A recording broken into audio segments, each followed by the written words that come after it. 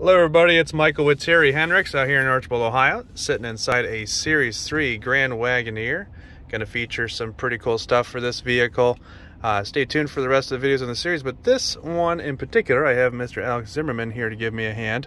As you can see, there's a lot of technology on the center dash. Uh, more particularly, we're going to focus on the passenger front screen. Now, as you can tell, you really can't see anything over there from this position, but Mr. Alex Zimmerman here is going to take it away and show you how to operate that screen as it comes into view.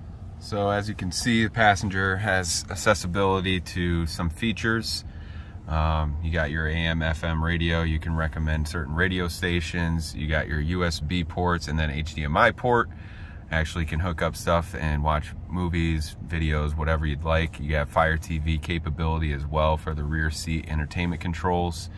Um, the navigation is a really cool thing. So if your driver is not one to be distracted, you can actually go into the settings here. And right now I have it selected at Marco's Pizza as a recommendation on where to go. And I can actually send that right over to my driver.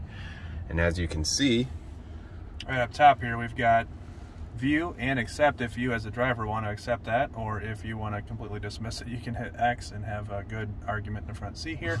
Um, but if you hit accept it will actually port that over to the main screen. And not only does it show on the main screen it also shows over on the passenger screen. And like Michael said as soon as you get into a certain angle over here, you cannot even see the passenger screen just for safety reasoning. You will arrive at your destination at 7.27 p.m. I guess we're going to be arriving there in 7.27.